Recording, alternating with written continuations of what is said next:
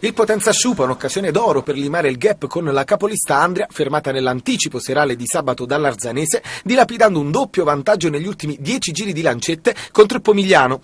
Errore di presunzione della truppa Giacomarro che cestina così un successo fondamentale in ottica campionato e che avrebbe dato un'ulteriore iniezione di fiducia al team potentino. Mister Francioso si schiera a specchio provando a disinnescare il fraseggio rosso-blu e ad intasare le corsie laterali, consueto terreno fertile per lo sviluppo di manovra di Giacomarro Ferro, ma a partire meglio sono proprio i padroni di casa che si riversano in campo con tutta la cattiveria agonistica del caso, producendo tre occasioni nell'arco di 60 secondi. Si parte al quattordicesimo con l'imbeccata di Cianni per Palumbo che controlla e spara verso la porta, trovando la deviazione in corner di De Rossi.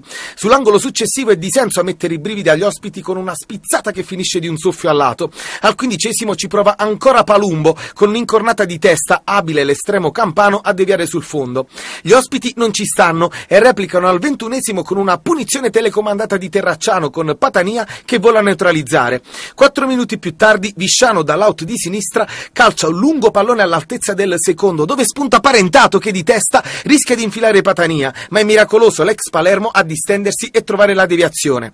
Dopo il sussulto degli ospiti il Potenza torna a macinare gioco e al 35esimo sfiora il gol con Vaccaro che spara sul portiere dopo una sponda di disenso ed è proprio l'attaccante di Bella a calciare fuori il comodo Tapin sulla ribattuta. Il Potenza flirta col gol che puntuale arriva nel garbage time della prima frazione e Schettino a sbloccare il risultato al 46esimo con un tiro da 35 metri che gonfia la rete con l'evidente collaborazione di De Rossi.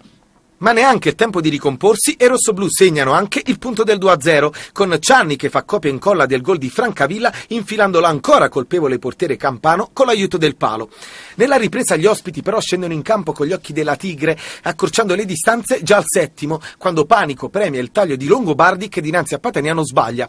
Accusato il colpo, i rossoblù reagiscono con una doppia occasione ravvicinata.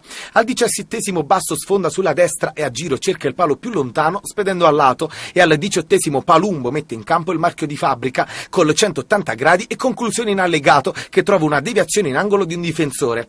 Ma al 33esimo Barilari fa strabuzzare gli occhi al pubblico del Viviani con un gol capolavoro, dribbling a mandare al bar l'avversario e colpo a giro col piede teoricamente sordo che si infila nella cruna del lago dove Del Rossi non può arrivarci. Da qui col risultato ormai in tasca il blackout dei padroni di casa che rimette in partita il Pomigliano con un autogol che ha del tragicomico.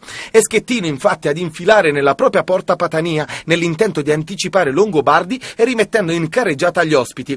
Ma 120 secondi e l'incubo si materializza. Panico guadagna campo sulla destra e serve il entrato romano che in tuffo buca sul primo palo Patania impattando il risultato sul tre pari.